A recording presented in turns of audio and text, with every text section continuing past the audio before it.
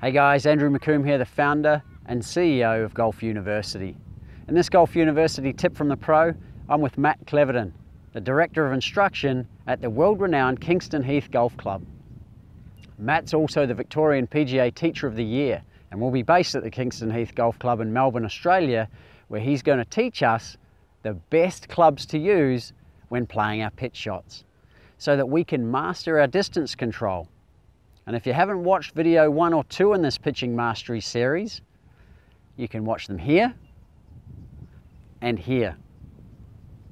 And before we start this video, and if you haven't done so already, I encourage you to subscribe and hit the bell icon below so that I can notify you every time a new episode is released.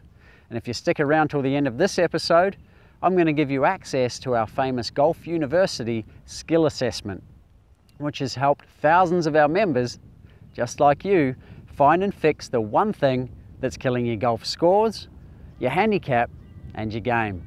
Plus, we'll give you free access to the specific video coaching program from one of our world-class golf instructors so that you can feel more confident, consistent, and in control of this area of your game. But before I help you find and fix this area of your game, let's find out the best clubs for us to use so that we can master our distance control with our pitching. This tip from the pro brought to you by Golf University, the world's premier golf improvement program.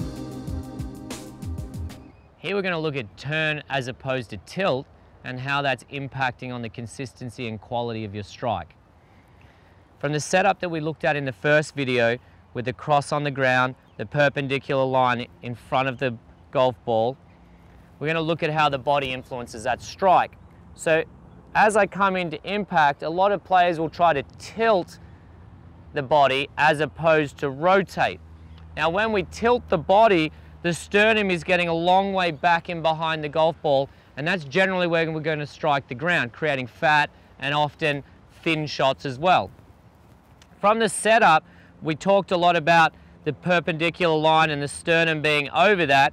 And here we want to make sure we're rotating forward around that. That's really going to help the momentum of the shot and also the quality of strike as we're moving forward, not in behind it.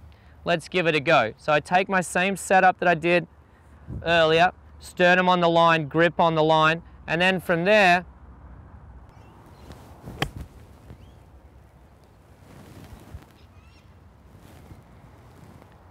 So work on how the body turns as opposed to tilt, and that'll help you get a more consistent strike when you're working on your pitching.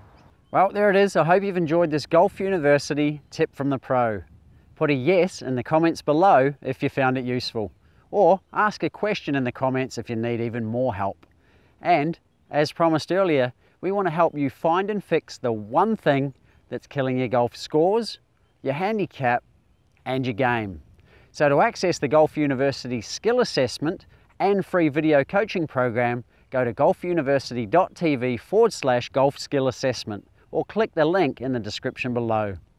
And to help you feel even more confident, consistent and in control of your golf game, I also want to personally invite you to join our 19th hole clubhouse and golf channel. This is where our passionate and inspiring members belong to watch, learn, grow, meet and share inspiration as golfers. You can join the 19th hole for free at the 19thhole.club or click the link in the description below. As a member, you'll have access to hundreds of golf lessons, travel episodes and documentaries.